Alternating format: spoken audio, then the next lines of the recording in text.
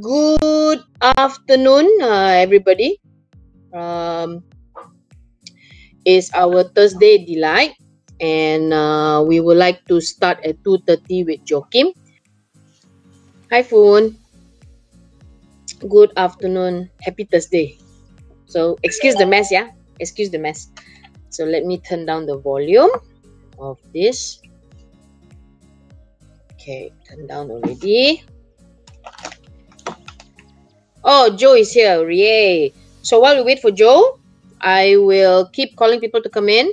So the purpose of uh, Joe sharing today is a lot of people has the wrong mindset when it comes to what it takes for you to get ready into international cross-border e-commerce, especially to the US market, the Europe market, and also Australia or even in South America market. So Joe uh, Joachim has been um, he himself has been a successful seller, uh, selling onto Amazon platform and eBay platform.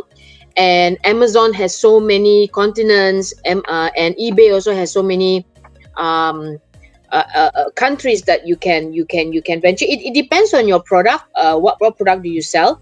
What product do you do you intend to sell? Because like me, when I was an eBay seller, I cannot sell to um, I cannot sell to people in Australia.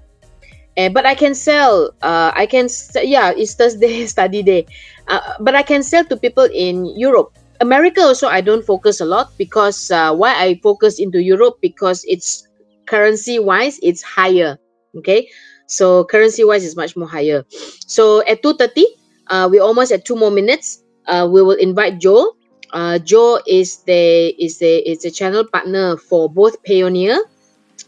He's the ambassador for Payoneer and also a channel partner for uh, eBay and Amazon. Um, but today we're not going to discuss about your eBay or Amazon account. So let's set this straight. This is to set yourself ready. What does it take uh, when it comes to food? The FDA, you have to get it set. You have your barcodes, your products, and all. So this is what you need to uh, go. Right now, I need to see whether Joe is online. Then I can call into Joe. Then uh, Joe can uh, proceed with uh, his uh, presentation slides. So I cannot find Joe. Joe, I cannot find you yet. Yay! Hi. Hi, hi, hi. wait, uh, let me turn on my volume. Wait, uh. Where is my volume? Yeah, this laptop. Ah, okay. All right. Can can see, can see okay. me clearly? Can hear clearly? Yeah. Can see your face, your handsome face. Where's your kids? kids are uh, locked uh, at the bottom floor for now. okay. Now tell the crowd what are they going to learn today before you share your screen, yeah? Okay. So uh, basically as we know, um, a lot of companies have been affected by the pandemic, and you know, uh, business has been pretty uh, bad for the past three months and four months, and everybody's doing all they can to just uh, move out into the ecosystem. And uh, during this time, uh, as a service provider, we are able to access uh, different points of data, right? Different points of data, different points of view as well, and I thought it was very insightful because it paints a different picture than what um, everybody else is saying that it's all uh, doom and gloom, right? There's a great opportunity right now uh, for brands and uh, manufacturers and sellers to go global, to go direct to consumers around the world because of the pandemic. So I assume that I'm speaking to brand owners or those who are looking to sell their products, right? And I'm going to share with you number one, the thought processes. Number two, what are the issues and the benefits and the drawbacks of the pandemic, how it affects an export based business, what are the digital ecosystem tools that you need to implement uh, in order to maximize your potential in this time and effort uh, at this time and day, right after the pandemic, and then also uh, understanding the flow of how a digital customer converts. What we believe, what we read, and what actually happens are two different things, right? So I just want to share with you that thought process. And it's more of a top level uh, company owner, brand owner, uh, business owner kind of uh, conversation that we want to have. So I'm not going to train you on technical things. You know, I'm not going to show you, oh, click this button, click that button to do this one. Or you can Google and you can find out and you can learn yourself. There's no point that we as experts come here and tell you how to click a button, right? So let me just add value to your uh, thought processes as a business owner because what you can think, what you can perceive is what you can implement and act on. So that's essentially what we want to share today. Okay, so, Good. Uh, so now you can share your screen, right? Yeah. Perfect. Ah, so tired. So now you go to your mode. Ah, correct. There you go. Ah, I learned well. Okay. okay. You X this black box. X the black box, uh, Joe. All right. Okay. Ah, okay. See clear? yours. Yes. All right. Great. Again, so let me introduce myself uh, to those who don't know uh, what we do. Again, I'm Joachim Sebastian, uh, one of the founders of Everpeaks. We are an e-commerce managed services provider and soon to be technology platform uh, that specializes in creating export sales channels for brand owners. We are the only uh, Amazon service partner in Southeast Asia, uh, eBay channel partner in Malaysia, and the Payoneer uh, community partner for Malaysia as well. Uh, we our core business is to help brands expand to the global marketplaces, especially the US, uh, France, Germany, Italy, Spain. We do this, and we also do a lot of uh, information sharing, knowledge sharing, and supporting the government agencies when they need input with regards to these export platforms. Now, a bit about my background. I started off as a seller seven years ago. Uh, we're in the automotive and interior decor category, as well as the uh, automotive parts category as well. So as a seller, we have learned the best practices. We've implemented it. We run our own platforms and we also run platforms on behalf of other brand owners.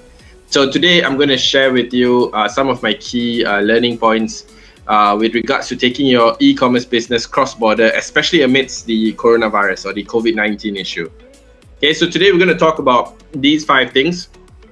First, an introduction uh, which we had a bit of just now. Then we're going to talk about the shift in consumer behavior. Uh, and again, the perspective on this is the global markets, especially focused on the US market. Yeah, so that's our specialization. Uh, we're going to talk about forced digital adoption for survival. We're going to talk about uh, something that is the vision of Everpeaks, which is manufactured to consumer commerce. Uh, we believe that this is the wave of the future. And uh, we talk about positioning your company for global supply once this is done, um, I'm gonna. I don't know if we can take questions, but you feel free to type it out, and we'll try to address it directly if I can answer it, or if not, you know, we'll reply via text. Okay. So I hope this is a insightful session for those who've joined. Please um, share it within the groups that you're in because this is uh, something that we don't do so often because again it takes a bit of time but i thought it would add value to the ecosystem and again as our partner with mdec and all the other agencies, we hope to continuously uh, share what we have, especially when it benefits uh, local players, right? In this time and age, we, we need every single edge that we can. So, what has happened uh, in recent times? Again, you'd understand that first, uh, the COVID 19 pandemic, which started in China. Mm, this pandemic not only is causing an effect now, it actually uh, was affecting uh, e commerce business players since December last year, right? since December when China was uh, getting to be affected, it started the shutdown, supply chains were disrupted. Uh, companies that usually sell thousands of units per day left uh, were left with warehouses that were empty because you know there's no inventory, and uh, essentially e-commerce businesses around the world, not just Malaysia, were in a massive uh, lurch in terms of getting the supply. Right, China is one of the the global suppliers or the global factory of the of the world and next, once that happened, uh, we also went into a recession because of the pandemic, because of issues, because of the oil glut, and a few other things, right? So a global recession occurred. That means a demand and and and people took a conservative position when they're making their, their purchase decisions. On top of this, as you said, the China manufacturing lockdown affect the supply chain, and uh, recent times the global oil glut. So when the global oil glut happened the oil and gas industry, which is a large spender, has literally shut down uh, because it compounded by the factor of uh, the COVID 19 uh, causing everybody to stay at home and nobody was going out in their cars and, and, and the supply was far, far uh, outweighing demand. So people, companies had to pay to dispose of excess uh, crude oil and things like that. So that dropped the oil price down. and because we as a country, Malaysia, is highly dependent on oil revenue, right? Tax revenue on oil for our economy, we are also affected. So it's like a quad factor, a, a disaster of uh, epic proportions. So just to contextualize, uh, the COVID issue is something that is a once in a century kind of uh, pandemic where it is so infectious and, and so disastrous to the economy that it has affected almost every every country out there. So it, it's such a big disaster. Now, what has this done? So you get countries who are in lockdown. Uh, however, when you see these countries in lockdown, something to note that the e-commerce and logistics supply chain was still retained right? In countries such as Italy and and um, and Spain, where you had almost a thousand people dying every day, they still ran their e-commerce division. They still had Amazon Spain running. They still had Amazon Italy running. They they tried to focus on essential goods to ensure that the supply chain is not overwhelmed, but it was still running. Uh, so essential supply was uh, emphasized even in the US. And also besides this, you see that come countries, including our own, uh, started issuing stimulus packages.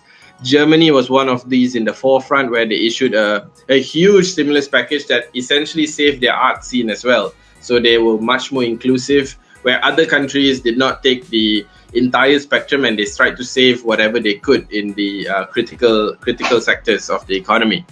So all these things have been happening in uh, the pandemic, and what has that led to, right? The first thing is that there is a complete shift in consumer behavior.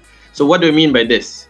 Uh, the e-commerce uh, percentage of total retail in US. You can look at it over here. People say e-commerce is taking over and is wiping everything out, but that's not actually true. It's only uh, 601 billion out of uh, a total percentage of more than 4.3 billion, right? Uh, where you can see e-commerce versus retail displayed over there. Only 16% of purchases in US are based on e-commerce. But because of COVID, uh, and now we recently have the data as well, this 16% of purchases actually grew to guess what? It went up to 27%. So that's a span of 11% in eight weeks, if I'm not mistaken. Eight weeks, it grew 11%. So what does that mean? And how long did it take to actually grow 11%? Did you know? From 5% to 16%, it took US 10 years to do so.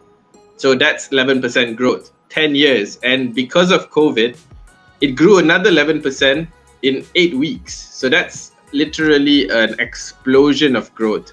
And what this does is actually it gives access to a new demographic available now to be marketed to more platforms, and also a higher comfort level uh, of consumers with digital. So you get these two massive populations that usually don't want to participate in e-commerce. Number one, the tech resistant, right? The guys who say, no, big data, I won't want to publish it. No, I, I refuse to participate. I only use what I need to. I try to support retail. And then, of course, the older population, which is not so tech savvy. Um, they're not very um, device uh, utilization heavy as well. But because of the pandemic, what has happened is that these two populations had to come on board just to survive, right? If you can't go to your grocery store, you still need to buy food. And that has brought these people into the platforms. Now, once they are on the platform, it changes the entire game where you are going to see a lot more comfort a lot more comfort, a lot more familiarity. And once they're on the platform, they're not going to go off. Most of them will stay. So I don't think it's going to stay at 26% in terms of uh, e commerce retail, but it's not going to drop back to 16% or 15%. It'll probably stay in the 20s region. And that itself is a massive market to now uh, hit with new products and new services, right? There's an opportunity there. Now, part two, forced digital adoption for survival. Now, this is related to companies, right? Um, a lot of companies could not actually um, take advantage of the shift in the ecosystem because they're not prepared digitally. So I just want to share with you some of the um, the key points of what companies should have as a as a um, I guess a digital asset base, right? So the first thing you need to have is again a brand.com meaning this is your brand site. Usually it's a domain that has your product or your, your brand listed. You also should have a Google My Business registration. You must interact with Google Search Console. you have to have payment gateways such as Payoneer. You would like to have a marketplace presence on platforms such as Amazon. And then on the left hand side, you're looking at content where you have Facebook pages or Instagram pages. So this is an example of a very simplified digital ecosystem. Now, how many of you have this implemented? I would say, in my experience, rarely more than 15 to 20% of companies, if not a lot lesser. So I'll just go one by one. Uh, brand.com is a website, Facebook is a Facebook page, Instagram is an Instagram account, Amazon is a marketplace that occurs on um, seven to eight different countries. So Amazon France, Germany, Italy, Spain, and the biggest Amazon US. Payoneer is a payment gateway that allows you to take your sales from Amazon and transfer it back to your bank account in Malaysia.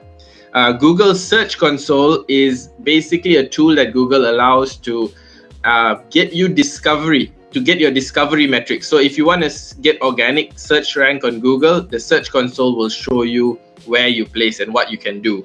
So it's, it's essentially a tool for search engine optimization, right?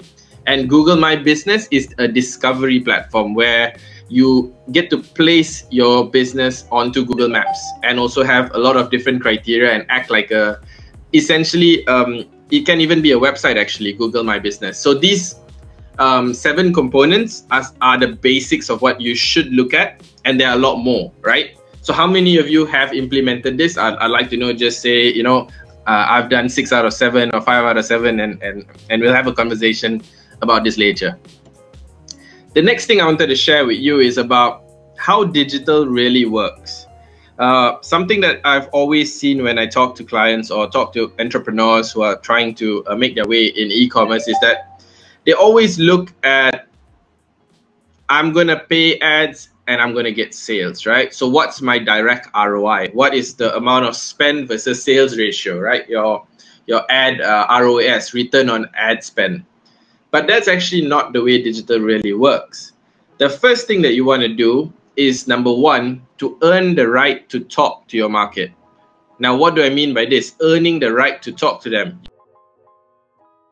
Sorry, the internet got disconnected. Uh, I will try to dial into uh, Joe again, yeah? Sorry, Joe. Dialing into Joe. So you have to continue the part where you said about the payment part, I think. Sorry, Joe. oh yeah, I was going on and on. Um, where were we? Where were we? Payment, is it? The payment. Uh, the payment part, yes. Yeah. So what did I talk about? Part. The payment slide. Payment so slide. You, this one Payoneer, right? You reach it. Okay, so I'll just redo reach, this slide. You reach your slide. Yeah, you reach. Yeah. Wait, ah, I got internet, internet intermittent connection oh, here. Very it bad. has to be on your side, is it? Not this slide. Uh, not this slide.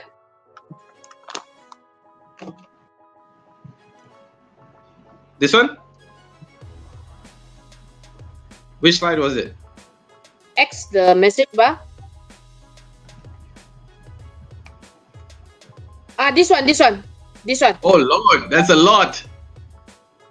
How digital really works. That's like. Oh, this one. I saw, I saw the one was hanged. Kenna, go ahead. Yes. Part this two. the one, right? Ah, yeah, this one. Okay, great, great. So um, let, let's talk about how digital really works. So when I'm showing the slides, they can't see me, right? Okay, fine. Uh, we, will we'll go with this first. Let me see. Um, hold on. Okay, great. So uh, let's get back to this slide, how digital really works. So the first thing I talked about is creating content to earn the right to speak to your market, right? We presume that everybody wants to listen to what we say as, as business owners, but that's not really true. So by creating valuable content, by creating uh, engaging content, you earn the right to talk to them. So if they click your content, they've given you the right to talk to them. And then you move to the next stage of the funnel, which is uh, to show them value. And that's where you give them either a coupon, an ebook, or something that gives value to their daily life or why they're interacting with you. So for instance, if it's us, we uh, provide them a free um, report or probably a, a, free consultation call where We'll try to understand their business and give them some advice whether it's suitable or not. So that's something that we uh, we can do, right, to show them value. And once you show them value, that is where you give them a chance to support you by be, making them uh, an offer or giving them access to a special deal, and they become customers. Most of the time, what companies do is that they spend money on ads at the front of the funnel, on the top of the funnel, and they expect to get sales directly. And this usually does not work, right? So for e-commerce sellers, you want to be able to bring your customers or walk them through a journey that um, number one allows the uh, the essential learning of your business, the essential sharing of what your business means to them, what value you can bring to them first, and then they convert later. Okay, so that's generally the journey. So start with paying money to actually earn the right to talk to them by boosting content, then show them value, then give them a chance. So this is all different kinds of cycles that you must uh, implement in your business rather than just uh, paying for ads that convert directly to sale. Okay. So the next part I want to talk about is manufacture to consumer commerce, right? So I'm gonna. These are four separate topics that I, I really feel a lot of passion for, especially uh, this particular one. Our vision uh, as Everpeaks is to establish uh, manufacture to consumer commerce in Southeast Asia and then globally. We want to actually bring manufacturers direct to brands, sorry, uh, brands and manufacturers direct to their consumers around the world. So, what is this uh, M2C commerce that we're talking about? So, uh, in my experience, seven years uh, running an e-commerce business, I believe that this is the new wave of the future. Number one, um, consumers are now no longer willing to just talk to a distributor or a dealer, right? If they want to buy a product, they want to have a brand association. They want to have their values being um, reflected. They want to make decisions with their money. They want to support brands that you know re- resonate with them and not a middleman. Next, uh, because of the globalization, margins are getting slimmer across all categories. Uh, production cycles are getting better. Things are getting more efficient. Competitiveness is high. So it, it, it does not allow companies to operate at the old uh, margins anymore. Next, the distributor bottlenecks. Now, if you are a new brand coming into any country, you will definitely be competing with some sort of distributor of a different brand. And if they are big and they are strong, they will stop you from coming in. Uh, and this is something that most new brands need to overcome. By using M2C commerce, going direct to consumers through marketplaces, through your website, through uh, digital marketing, you bypass distributor bottlenecks.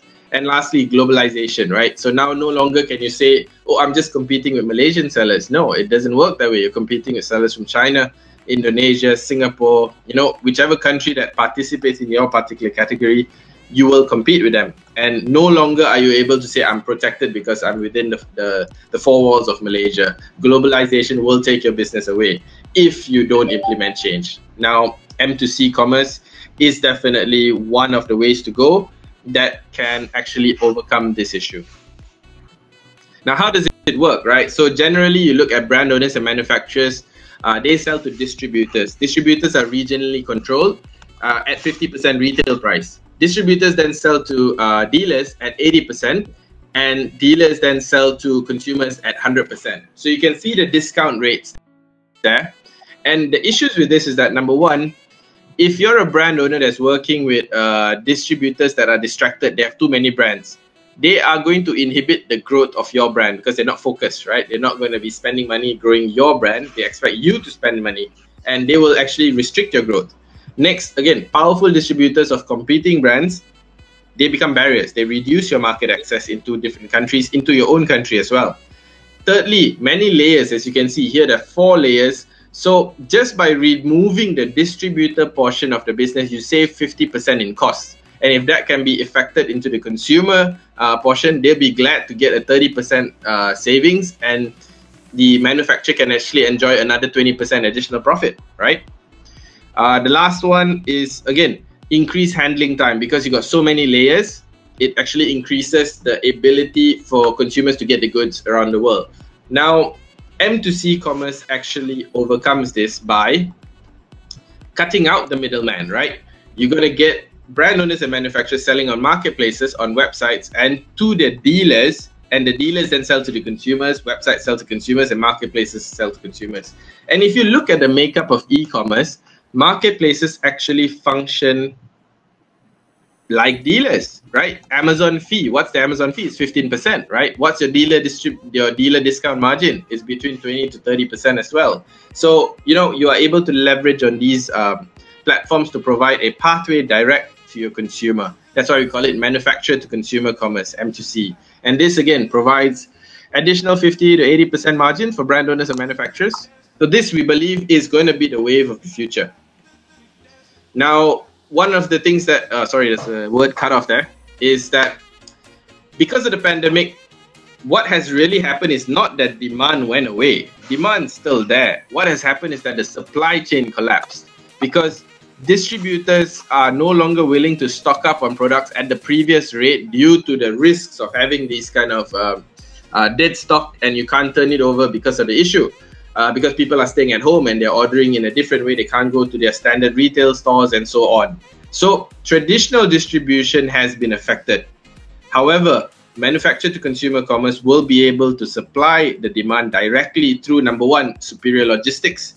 As you can see, the logistics um, ecosystem in the world has grown leaps and bounds because of e-commerce, right? The next point is true e-commerce, through the global platforms, through websites, through marketplaces, through um, even uh, digital distribution channels, right? They are able to access this particular um, demand in the market. Finally, digital marketing is also another way that manufacturer to consumer commerce is able to uh, create awareness, right? You use digital marketing as a brand awareness, as a product awareness tool, or as a content consumption tool, and creates um, new markets or new access to new markets for brand owners and again in combination with uh, proper content whether it's articles whether it's video whether it's um, tiktok whether it's uh, instagram all these are different platforms that use different forms of content. So content marketing uh, digital marketing global platforms e-commerce and logistics combined to actually uh, give you the pathway for brand owners to reach directly to markets around the world now how do you position your company for global supply right so I'm going to just give you a brief overview of the three different segments. First, you look at discovery. So where do people learn about your product, learn about your company, learn about your offering? It, again, it's a Facebook page. Um, done correctly, it will create awareness. Instagram pages where you actually get discovery by hashtags, get discovery by tagging, get discovery by story sharing, and so on. And also Google My Business, which provides local discovery uh, opportunities as well. From discovery, you convert them to a sales channel. A sales channel could be Amazon, eBay, or Shopify, whichever suits your purpose and suits your business model. And finally, both the first two segments don't mean anything unless you actually have a method of getting your product to the customer, which is um, essentially a fulfillment solution. So for us, we use uh, DHL Express, one of our partners, and um, you have many other alternatives uh, based on what your business actually is, right? So these three components actually give you access to the global market. Now, it is up to you as a business owner to make sure that the criteria, the pricing structures, the cost structures, the risk plans, all that are in place so that you don't lose money. But with these three uh, different segments, you will be able to actually uh, supply demand direct to consumers in other countries right? So something that I wanted to share is don't get misled by sentiment. Uh, this is a piece of data from one of our clients during the middle of the pandemic. So you can see like this is uh, 9th of March till the 6th of April. Uh, Malaysia was in lockdown, France was in lockdown, Italy is in lockdown, Germany was in lockdown, USA also lockdown, Spain also lockdown, but sales were still increasing. And this particular product is not an essential item. It's nothing related to the medical side. It's not not PPE. It is actually an automotive part. So, you know, if you uh, believe the sentiment out there in the market that everything's uh, stuck, nobody's buying, and whatever not, you actually lose out on the opportunity. A lot of that is actually um, fear mongering. It's a lot of fear mongering going on, which leads a false impression of what the actual market really is. And this is data on sales, so you can't go away from that. Okay, so this gives you a brief overview of what I wanted to share. um, uh, just a recap. Number one, the pandemic is an unprecedented disaster. It is going to affect businesses all around the world, but it also actually creates it's a huge opportunity for export e-commerce based businesses. Right, digital adoption has hastened globally uh, with the examples that I've shared about uh, US, and companies actually now have to get digital to survive.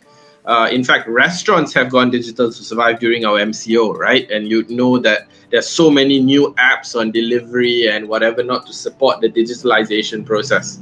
Uh, the next point is that global demand can be quickly met by M2C commerce where traditional distribution fails. Now, it's not going to fail forever. Traditional distribution will come back. Traditional retail is a core part of the human uh, purchasing process. However, we can expect an increase in percentage of e-commerce for sure.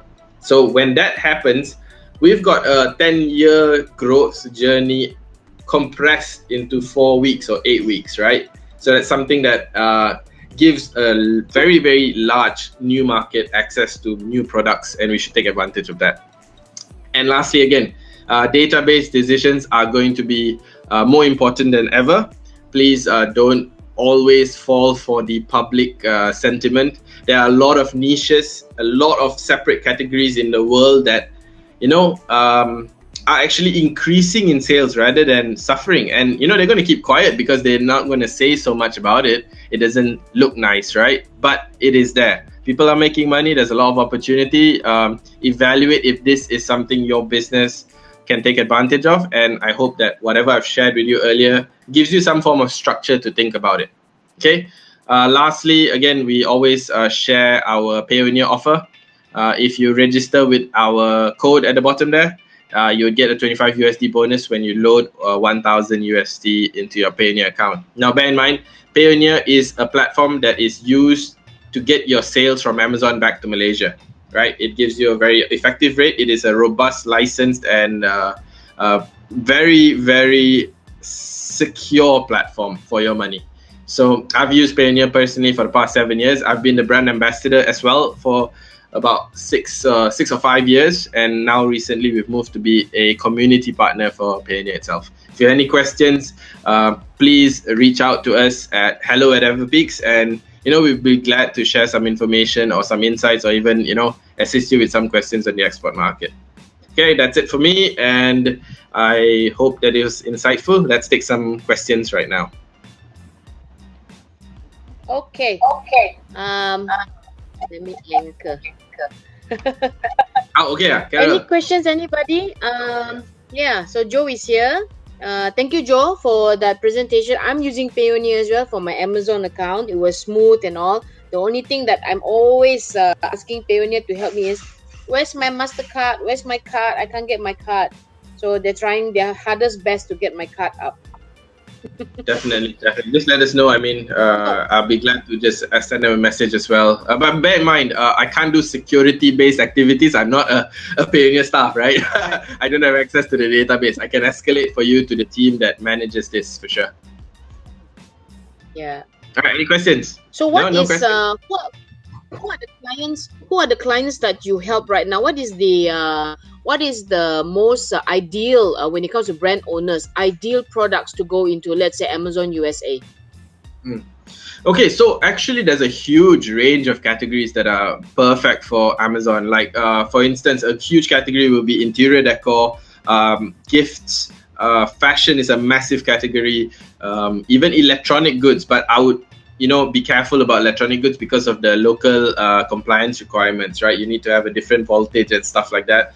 Um, um, handphones mobile phones were also a huge category. But the real question is what's feasible from malaysia right? That's the that's really why where you want to want to position this. And in malaysia we've got a lot of cultural um, products a lot of cultural products that are not digitized properly so if you're a reseller and you're looking for opportunity to grow a brand, you got to find a niche, a category that you specialize in, and search for sourcing of these said products and build a brand. For me, I would always uh, promote brand building versus uh, trading on a direct method. So trading is going to be very, very um, tiring number one. Number two you very very risky in terms of margins unless you build it with you know 50% 60% margin off the go. But there is opportunity to do that mind you. There are places where you buy for product x and because we're malaysia we have the cost so low and our manpower cost is so low that you can sell it to us cheaper than they buy it themselves there because you got the forex currency rate right? So the the, the key um, element here is not about choosing the most lucrative category you are best in and being good in that category, understanding the unit economics, right? That's actually more important. Um, oh, there's some questions over here watching. Hi, and Joe. To begin, I need a good product, right? Um, to begin, you need a good product. Product must have a market, right? Somebody needs to actually buy the product. So if he sees your product, he must understand what it is. So representation of the product needs to be accurate, the pictures, the description, and all that. So um, you really want to um, choose the product, represent it correctly, and to a certain extent, some brand owners actually build the market for their product. It's a new product, it's an innovative product as well. So the more that the, the, the market understands your product, the lesser work you have to do. So for instance, if you sell a Nike shoe, yeah, people are going to know they're going to buy it, right? But if you sell uh, a Joachim brand shoe, uh, you got to make sure people understand it's pretty awesome. And secondly, of course, you got to make sure that it is awesome, right? If you sell a product and you say it's awesome, and you and when they receive it, it's rubbish, uh, you're going to get a, a, quite a bit of uh, backlash. Okay, so uh, next question. I got one question. Sure. Um, if, if, if, you, if you can hear me lah, because the internet is quite bad. So, mm. what about um, you know, there's Amazon USA, there's Amazon uh, Mexico, and there's Amazon Australia. Is there an mm. Amazon Singapore for us to sell onto Amazon Singapore? Yes, there is. There is. Uh, Amazon actually uh, divided into a couple of categories based on the location. So you've got Amazon uh, North mm. America, Amazon Canada, and Amazon Mexico in one uh, group, and then you've got the European Amazons, which is UK, uh, Germany, France, Italy, Spain. Uh, then you've got the Southeast Asian Amazon, which is Amazon Singapore, and then you've got Amazon Australia. And then there are two more new platforms just launched, which is Amazon Netherlands and Amazon UAE right? So it's all multiple uh, different platforms. So for Amazon Singapore, it is already live. Uh, we have products listed there. Uh, some of our clients are already there, and you know it, it, there are sales. So there's an opportunity there, but the platform is new. There are some modules that are not launched uh, yet because uh, number one, the COVID nineteen uh, pandemic has affected their their launch timelines, and number two, it is a, a, a, brand new platform. So one of the modules is actually the the marketing module. So you can't run promotions right now. You can soon, hopefully by end of this year. But once that is done, then it becomes another platform that you can uh, market your product to.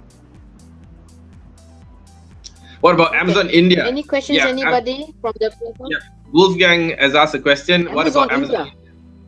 Amazon India is a bit of a complicated um, beast. I, we you can't actually sell on it unless you have a local company in India versus the other Amazons, right? So Amazon Singapore you can sell even though you're a Malaysian company, and Amazon Australia you can. Amazon India you can't as of yet. So you know if you have an Indian company, good on you. You can participate, but we uh, even we ourselves have not uh, penetrated into that market for Amazon India yet. So yeah, hope that answers your question. Oh, Amazon India. Mm. That's something new.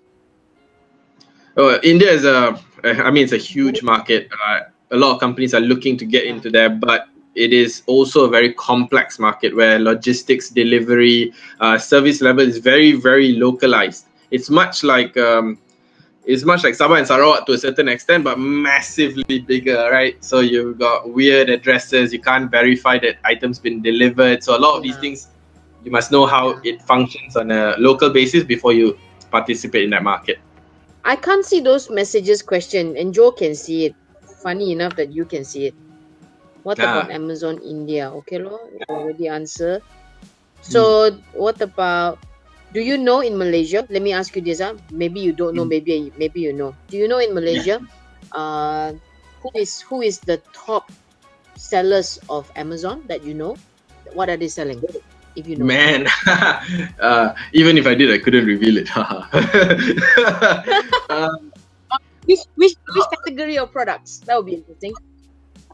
Well, the guys that I know are quite quiet, uh, but uh, I believe uh, skincare is one of them. Skincare is one of them. Uh, automotive is definitely one of them. Uh, interior decor is one of them. Uh, so these are categories that we do well in because our products are actually quite good. It's just that we don't market it correctly and we don't represent it correctly online. but besides this, um, even I mean, Malaysia is a hub for a lot of medical devices. Medical devices from Malaysia go out quite strongly. Um, and some of the companies over okay. here in the medical field are very well established. They are recognized uh, players in the global field. Um, however, things that we don't do well um, into the US market is food because of the regulations, right? Uh, so not many of that go there, but we've got tons of people selling accredited products, right? Nescafe and stuff like that, and whatever not. That tons of those. So we've got a lot of retailers that are doing arbitration. But in terms of volume and profitability, I wouldn't say that they are the most profitable positions. It's, it's a it's a high throughput, low margin game, right? You've got to play at the consumer level, but you're selling thousands, lah, right? Versus the brand owner journey, which is a high uh, margin, low throughput game most of the time, unless of course you are top glove or something like that, lah. We got cut off about the brand, about the different products. I'm gonna call in into Joe again, okay? Oh, diff- wow, it got cut off from there. That's quite a bit of. I was talking like for one hour. I didn't. nah, just kidding. Uh, so different type of sellers going to Amazon. Yeah, mostly brand owners. Yeah, yeah. Mostly what brand about, owners. What about eBay? What about eBay strategy? What would you recommend for people who wants to go for eBay? Because eBay is much more easier compared to Amazon.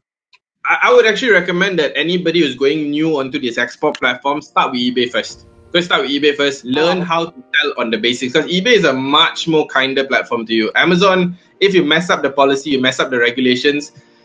Nine out of ten companies further dig a deeper hole once they mess up by trying to create new accounts and doing all sorts of things to clean up all their backlog. Uh, it, it takes a few months, you know, because they created multiple IP addresses, multiple accounts, multiple logins, and Amazon auto detects, auto bans is this thing just because it flags onto one. So to clean it up, you have to clean one, two, three, four, and then you get to the root problem of why they got banned.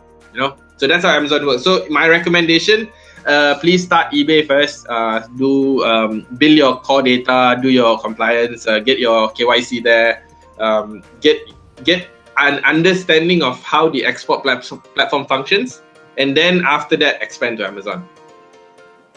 Someone it, is asking, uh, can they sell slippers on Amazon? Oh yeah, yeah, definitely. You just got to make yeah, sure the pricing point is done correctly. Was it? Yeah. Branded lah. Yeah, but I would recommend footwear. Uh, you need to use it uh, 100% FBA because we've actually launched uh, footwear before, and if it is not FBA, you don't get any organic traction. So if you're going to go into footwear, because you know why, Amazon believes that in footwear, especially if you're an overseas seller, if they buy the wrong size, the customer experience is degraded because they want to return, they cannot get a replacement in time. So if it's FBA on Amazon, uh, the customer can return and get a new size with Amazon's processes alone, not yours. So you know it's a it's a known uh, returns process issue. Fashion, footwear, these two are quite. Uh, mm FBA heavy lah if you want to get traction. Okay, hope that answers the question. So let's see who else got any more questions. We have a good 43, 44, 45 people watching this live, so that's good. Um, nice, nice. So nobody got questions. That that's it. We're just um wrapping up. Yeah, uh, great. that was yeah. very good sharing by Joe. Mm-hmm. What I've about what about eBay when it comes? What, Sorry, what about eBay when it comes to? What about eBay when it comes to selling food? Is hmm. that safe to go on board first compared to Amazon? It's not the platform which is the problem. The problem is the importation, which is customs. So Amazon and eBay don't okay. take liability for your compliance. The compliance will hit you back as the shipper on record. So it will not go through customs if you bulk without FDA regulation. So they will need that that compliance portion. Uh, so the risk is you sell, you can get through small, small parcels, yeah. But when you send a bulk, when you start actually selling correctly and you start getting traction, that's when you get stopped. And then they might call you up and you need to answer some questions and you know they might just return the shipments and ban your address. A lot of things can happen. So it is not sustainable in the long term. Better you sort the compliance out before you start. Cool. Well, mm. that's it. We've already down to our 45 minutes of uh, presentation and Q&A. And remember, uh, Joe, I want you to PDF these uh, files, uh, PDF mm-hmm. this, uh, what you call presentation. And then after that, we will only upload at the cross-border uh, export with uh, Everpeaks group chat. So mm-hmm. anybody anybody who wants uh, this uh, presentation slide and also Joe's uh, guidance into getting into the international platform, come into this group chat. Uh, don't spam the Go e-commerce chat. Uh, don't uh, don't spam the Go e-commerce chat. You can spam on the, you can't even message him on the ladies group. Joe is not on the ladies group. Um, Joe is on the Go e-commerce group. unless unless Joe has a lady staff that can join the ladies group. But Joe is also on the cross-border uh, e-commerce group as well. So can you see my face? Uh, Joe, Joe, I can beautify yeah. my face Joe using the app. wow, that man. now consider more ladylike a bit lah. Beauty and pretty ma. No. Ah? Yeah, it no, Sunny, if you can watch later, you watch the playback. Okay, Sunny. Oh. Sorry, because uh, uh, hopefully the playback is not as uh, jittery and not not not have all this intermittent uh, internet that was uh, we get to try to get connected. Okay, uh, we know that there's a lot of uh, sellers. I sell on Amazon uh, a bit of a tip that Joe and uh, some of the Amazon sellers also guide, guided me into listing my first 40 SKUs onto Amazon. I'm, I, I put up ribbons. So it's not my brand. It's not my brand yet. So Joe did advise me to come up with my own brand and all. So I did I did my first stage of uh, branding of the packaging, but I couldn't continue. Too much too much work work. Uh, not eBay, well, not eBay, Amazon. Too much work on MDEC so I, I I couldn't continue. So Joe has been very very good in pushing, uh, pushing. So I can imagine him serving uh, clients and serving customers. Have been pushing uh, clients to get on with it because uh, I, I can't focus. I got too many things to focus. I, I don't focus on my, my business. I don't. And uh, uh, uh, I, I, I've seen Joe uh, help a lot of uh, SME uh, a lot of brand owners, especially brand owners. It's not for trading. Uh, Amazon is totally not for trading. I got I got sales on Amazon, but I have to shut down my store, uh, put on vacation because there's no planes and shipment uh, going into the America at the moment. So just hang in there and and and and and, clo- and, and don't don't operate first. So my eBay is closed, my Amazon is closed for the moment. Just concentrate on helping CSR some work here. And Joe, your final word when it comes to saying goodbye what are your final advice? Um i would say don't uh, believe market sentiment. Uh, public information is public information. Uh, always research be a scientist look for data test your products uh, and get your unit economics right so it doesn't mean you sell 2 million ringgit worth of products you're actually doing well a lot of times we see this guy selling 2 million they spend 3 million selling 2 million ringgit you know so um, a lot of rubbish out there lah. So just be careful about who you trust. Uh, the training that you go to, a lot of frauds out there that give uh, e-commerce consultants a bad name that we've also interacted yep. with. Uh, try to work with people who have been validated and accredited. A number of them, uh, Kotak Song is one. Uh, you've got a number of agencies in Malaysia that help exporters, right? So KK is a good guy. He knows his stuff as well. Uh, and there are a few of them in, in Malaysia, but avoid the all these uh, gurus lah uh, that come out from nowhere. Don't waste too much of your money because in the end, you're paying them to sell their products. They sell the products, you are getting a very very small margin. Once Amazon takes his money, you're done. You know, selling on the export market, you need at least forty percent. At least forty percent margin. If you don't have forty percent margin, don't bother.